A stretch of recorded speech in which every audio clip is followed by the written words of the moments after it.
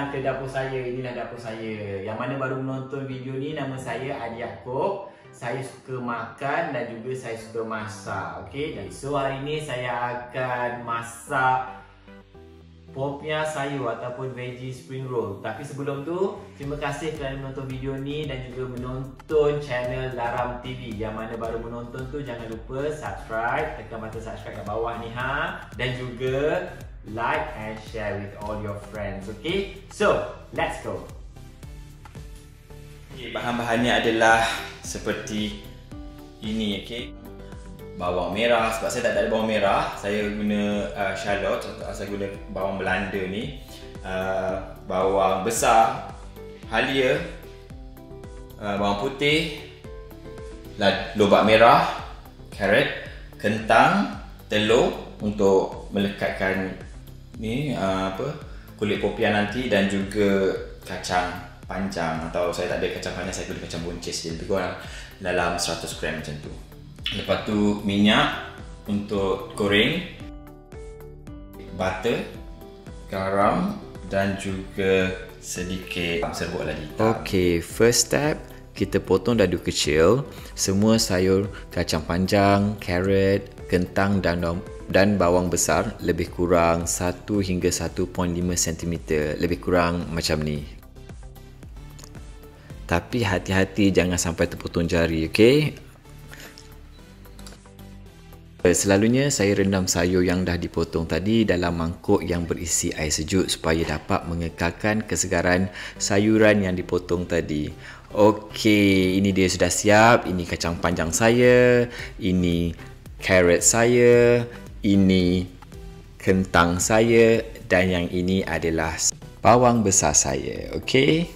Okey, kemudian kita akan kisar bawang putih lebih kurang dalam 3 biji macam tu. Lepas tu halia 1 inci. 1 inci halia. Dan juga bawang merah. Saya tak ada bawang merah saya guna bawang Belanda ni Holland ni. Masukkan. Bubur uh, sedikit air.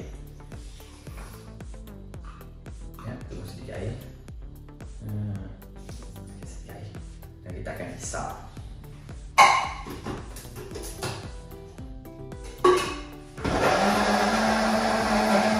So, putih tadi kita dah... Kita dah kisar macam ni, getuk dia. So, kita boleh mulakan panaskan kita punya Wali.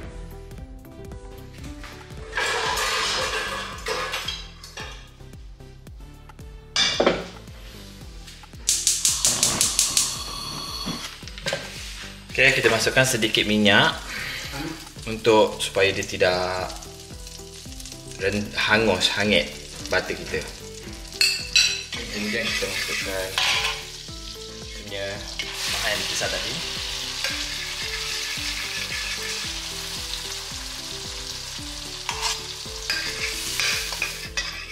Tumis bahan kisar tadi sampai naik bau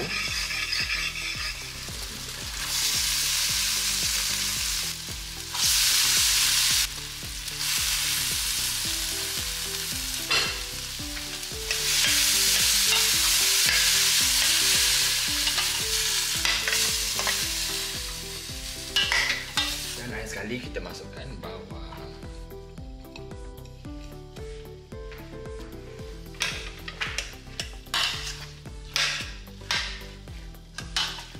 uh, bila dah nampak inti popiah ni dah macam dah lembut sikit baru kita masukkan sedikit garam.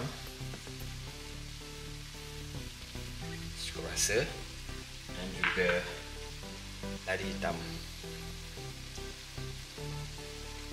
nambah perisa.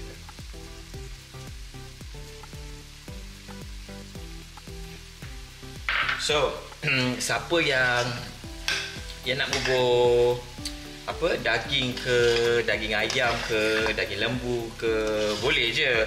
Masa kita tumis mula-mula tadi kita buburlah daging tu. Jadilah popiah daging ataupun popiah ayam. Nak pedas bubur lebih. Sebab saya tak guna cili dekat saya punya inti ni saya guna apa?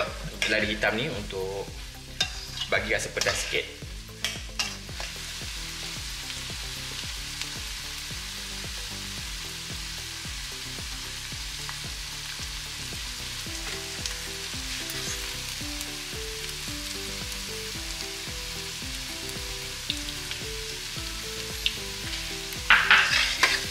Okay, uh, you guys, uh, sekarang saya sudah siap saya punya apa? My veggie spring rolls uh, punya filling inti dia dah siap.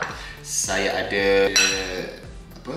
Putih telur untuk jadi bahan apa pelekat dan selalunya saya akan guna jenama ni untuk buat popia saya saya guna jenama ni mana dia ah saya guna jenama ni untuk untuk buat popia saya kulit popia saya jenama ni bagus Alright, so jom kita mulakan.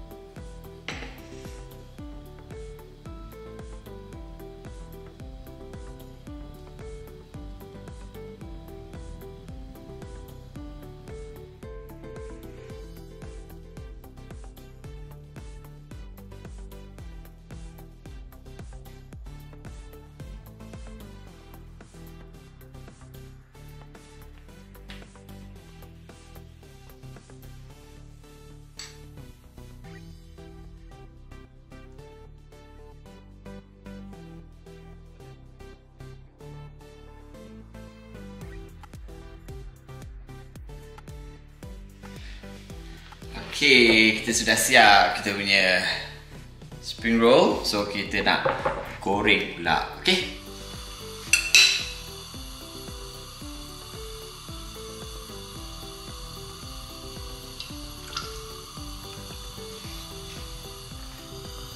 Okay guys, kalau uh, petua nak tahu minyak panas ke tidak, kita boleh letak macam ni, sudut kayu macam ni, kita masukkan dalam minyak ni. Kalau dia dah menggelegak macam ni, maknanya minyak sudah panas. So kita bolehlah masukkan kita punya popia sayur kita tadi ya.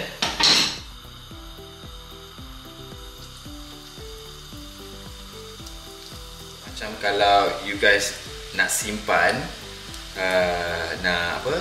bekukan dalam uh, peti sejuk boleh.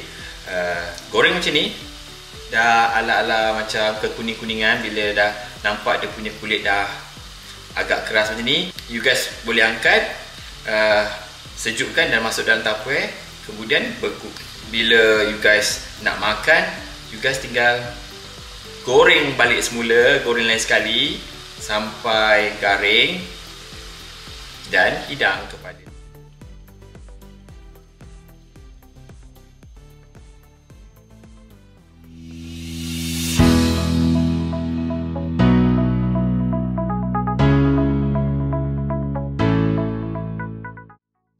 Tips yang pertama di episod kali ini, kalau nak merebus kentang, elakkan rebus kentang dalam air yang sudah mendidih sebab bila air itu dah panas, bila you masukkan kentang, kentang bahagian luar ni akan mudah empuk dulu berbanding dengan yang dalam. Jadi kentang akan masak tidak sama rata.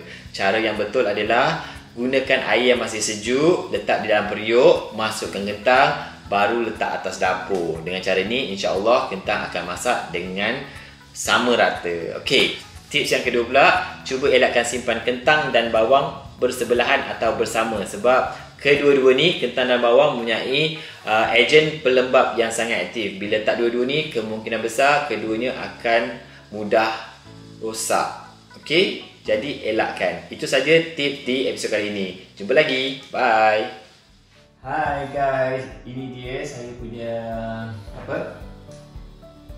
Resepi untuk episod kali ini popia sayur ataupun veggie spring rolls. Thank you so much guys for watching this video. Selamat mencuba dan jumpa lagi, okay? Bye.